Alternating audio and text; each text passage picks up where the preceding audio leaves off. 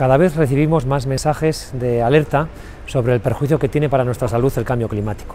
Y nuestra ciudad, Vitoria-Gasteiz, quiere seguir siendo una ciudad a la vanguardia en la lucha contra el cambio climático y en la consecución de una sociedad eh, climáticamente neutra.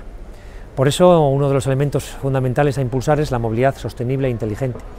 Estos días celebramos la Semana Europea de la Movilidad y precisamente volvemos a hacer un llamamiento para impulsar el uso de la bicicleta y los desplazamientos a pie como un sistema de movilidad urbana muy saludable y también el impulso de del transporte público de alta capacidad. La extensión del tranvía en la zona de Salburúa y posteriormente Sabalgana o la pronta implantación del autobús eléctrico inteligente del BEI son muestra de ello.